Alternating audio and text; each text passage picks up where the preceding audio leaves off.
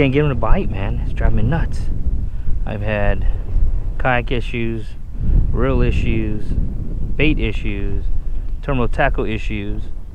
Today has just been a day of issues and I'm surrounded by reds. I have found them, but I am shooting myself in the foot.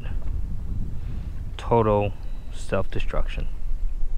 Everybody, welcome back. Ruben with Texas All Water Fishing, and today I'm gonna go kayak fishing. But before we do that, I just want to show you uh, this kayak cart. I just got it in. Um, this is a, this is a very awesome and nice, uh, very beefy, heavy-duty kayak cart. The wheels are non-inflatable, which means you don't have to worry about them going flat. I mean, this thing can hold over 400 pounds. It's, it's a really super nice kayak. Today's the first day I'm trying it out. Um, I mean, it came in packaged perfect, uh, well packaged, not a scratch on this thing when it's shipped. And it's it's by Blue Dot Outfitters, the same company that makes this my kayak cooler bag that I really like and really enjoy. Well, this is their cart. Uh, I picked it up on Amazon.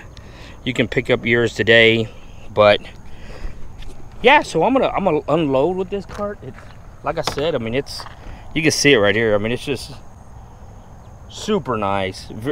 Fully adjustable. I mean it's gonna fit any any kayak any kayak that you have out there. Now i've been kayaking for over 10 years now and you see new products come on the market. You see you know it's pretty much all the same thing just uh, you know different designs different different um you know they change the packaging a little bit. But this is really a nice a nice kayak. This is really a cool design. Um if you are looking for a cart I would recommend this just on my first impressions. Haven't used it yet, like I said, but want to use it today. So I'm to get on the water. Thanks for coming back. Don't forget, we do have a Patreon page. So if you're wondering, where are you fishing, Ruben? Where are you catching these fish at? What is going on?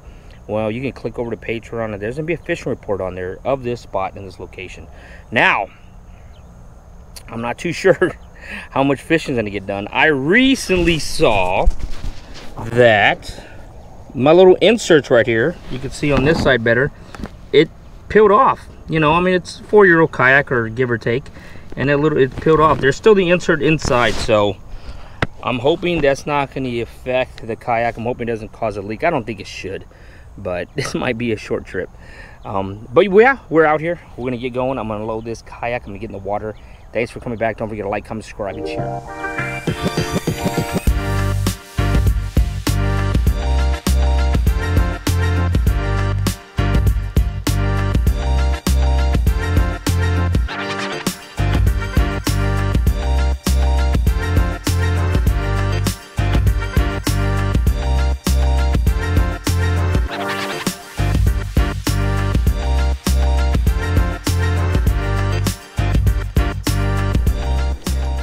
All right so i've been out here a little while. You can see that there's just blow ups and pop ups and everything on little shad. Um, i thrown some a couple little spoons and they didn't want anything. I had the cork they didn't want it. Um, what it looks like to me now it kind of looks like there's some trout in here but it really looks like this place is just loaded with gar. I mean there's just tons and tons of gars in here. Um, which is kind of cool. I mean, if you like catching gar, gars are fun to catch. But I, I, I never caught a gar on a artificial before, uh, or landed one. I hooked up, but I think it was more of a reaction strike. But yeah, um, I don't know. You know, these little shads during this time of year, they're all over the place. And typically, if you can throw, sometimes the reds and and and specks and whoever's eating on them we'll get lockjaw and get really just focused on that on the profile not want anything else but sometimes you can get lucky and throw on top of them top of these little school of shads and get a uh, get a reaction bite perhaps. Uh, maybe you will entice them. I just put on a gulp just because of the scent and it has a, a char chartreuse tail. It's got lockjaw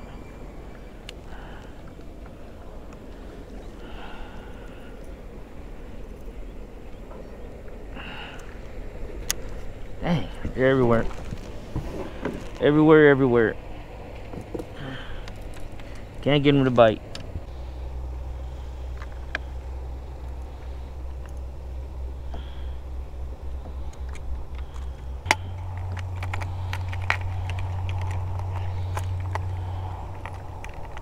I noticed this quick twist, Norton quick twist, had a slight gap in it. Typically I could just pinch it down just a little bit and let it secure my lure a little better. Stay tuned and find out why this haunts me.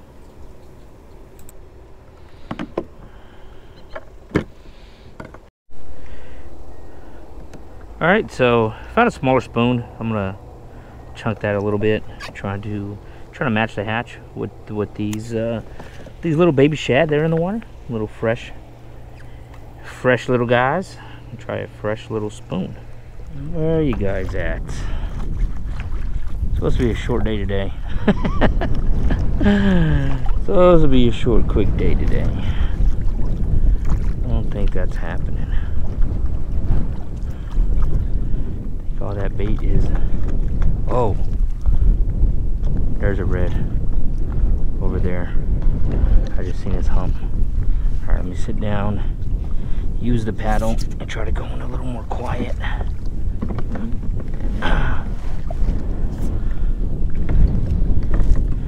Right on the edge of that grass line.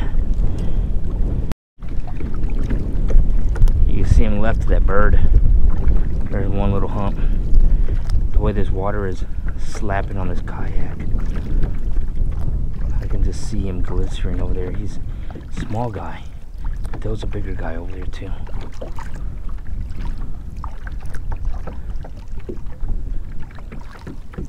That bird might scare him when that bird flies off. See, there's his humps just barely. Oh, there he goes right there. He popped on something. Hope the bird don't scare him. Kind of what I was looking for. Red belly down a little bit. There you go, bird. Nice and quiet. Shh, quiet. Be good. Be good to me, birdie.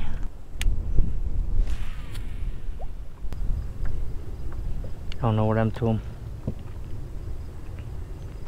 He moved out. I can see some more blow-ups over here. I think I'm gonna move. Try to uh try to move over there as quiet quiet as possible. It's like super shallow back here though. I didn't wanna see. That's what I didn't want to do. I didn't want to push in and then start scaring the bait and then domino effect the bait scares the reds. So you always gotta be careful moving in the area.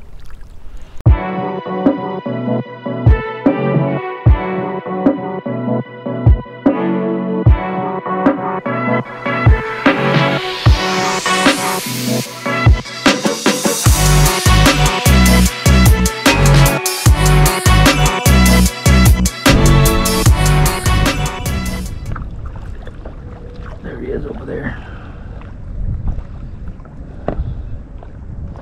Just laying in the mud.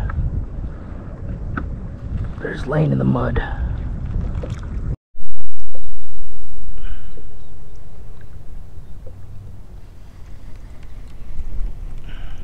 What the?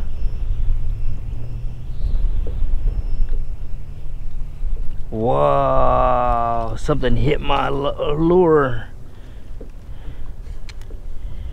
Came off. Dang it. I noticed this little quick thing. It was like, man, need to be changed out. I didn't have another one. I tried to squeeze it to make it work. And uh, yeah, I just set myself up for failure. Wow. Dumped it and it came off. Dang it. That hurts.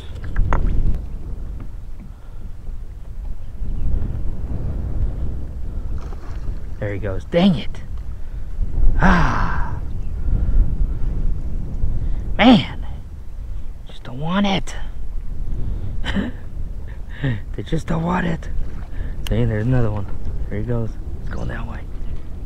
Get in front of him. Oh, oh man. They just don't want it. Everything's going wrong for me today, man. Everything's going wrong for me today. There he is back over there again. He just pushed across. Dang it.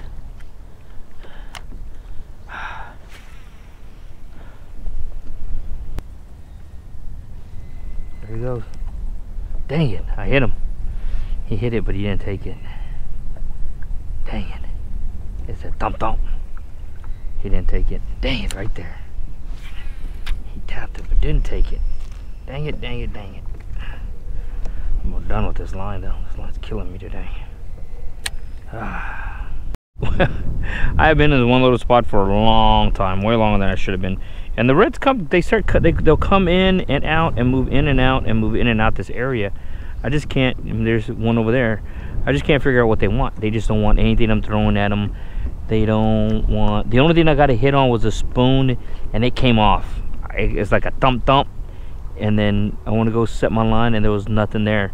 So, I mean, and that was the only spoon I had of that side. Everything else is smaller and they don't want the smaller stuff. But I don't know, you know.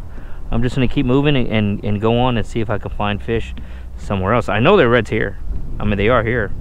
Um, seen plenty of them, still seeing them now. They just, uh, too much bait, you know. They don't want, they don't want what I have. So I'm to go, these guys are way too smart. I'm to go see if I can find some dumb ones.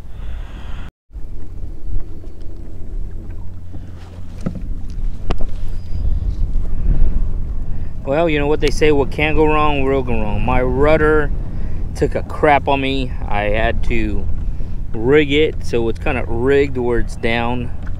Uh, I don't know what am I doing when I get back to the landing. Uh, I might try to pull over like I just did here. You know, I had to jump out in a nasty, nasty, uh, wet, uh, soft mud.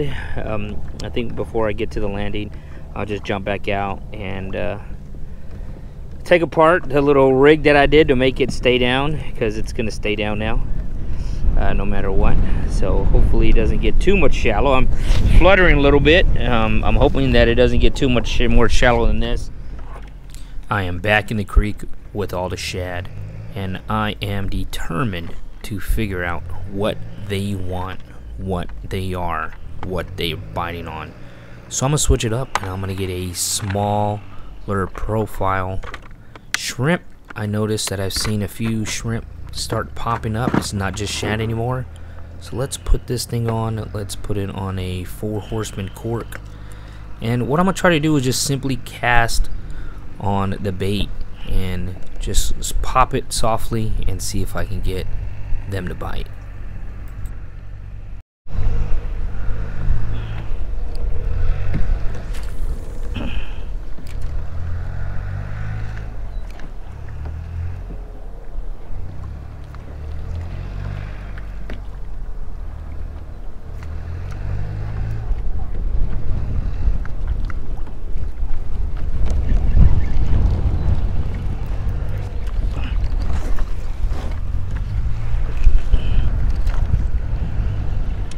Change the profile of lure to see what that was busting up on it and it's gonna be a nice speckle trout.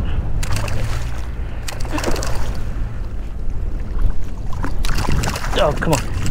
I missed him again. Dang it I missed him several times. See they're busting on these little shads and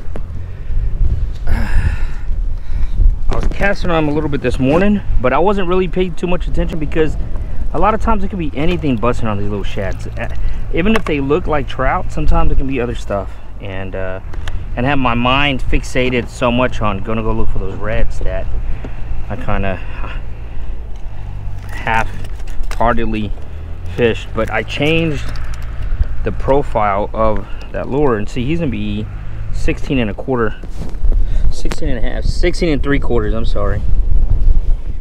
I changed the profile and put a much smaller voodoo shad on to kind of mimic the profile of that of the uh,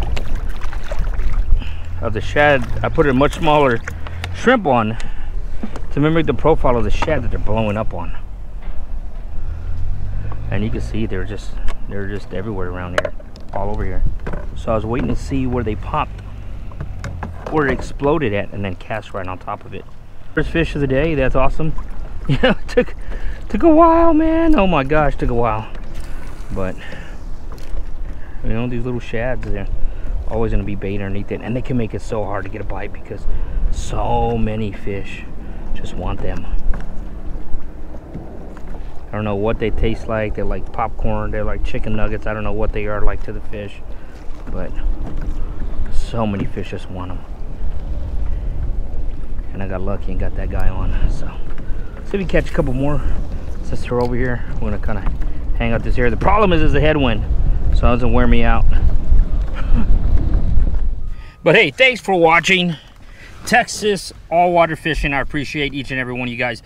I am sorry, you know, I tried as hard as I could. I went out for uh, for a while. I don't know, maybe about eight hours on the water, and uh, I just couldn't find them. Just couldn't. I found the fish. I just couldn't find what they wanted, and you know that that happens a lot this time of year. There's a lot of bait in the water. Uh, fish are get really picky. They get a little lockjaw sometimes. And uh, yeah, I mean, that's the only thing I, I can figure out to explain it. I didn't have, uh, I would have thrown a couple different things. Um, I didn't have my tackle box, just a couple tackle boxes that I like to bring with me. Uh, I lost a spoon. I got hit and the spoon came off. And I didn't have any other spoons to put on that were that size or that were the same kind of spoon uh, with me. So that's unfortunate, but you know what happens. You know, this it's a grind. You know, uh, fishing can be a grind as well as for YouTubers as it is for viewers. Um, but I appreciate you guys. If you made it this far in the in the video, I appreciate you. Don't forget, we do have a Patreon page. So in case you're wondering, uh, you want some additional information, uh, help help with your learning curve. Perhaps you want to a fishing report, uh, more up to date fishing report, what I'm seeing on the water. Because this video probably won't get out. It's like maybe sometime next week, uh, every, anywhere from seven to ten days. So actually five to ten days really. So if you want more up to up to date information, then get over to Patreon. I'll shoot you a couple decals for joining, and uh, yeah, we have a uh, we have a Patreon only meetup coming up here. Open invite meetup pretty soon. I do throw open invites on there all the time. So if that's something you're interested in, check them out. Check, also check out this kayak cart. Check out Blue Dot Outfitters. They have a couple. They have some very nice products over there. And uh, yeah, help support those that support me. And I thank each and every one of you for your support. Hopefully next time you're to catch me hooking up to more than just one fish. Thanks.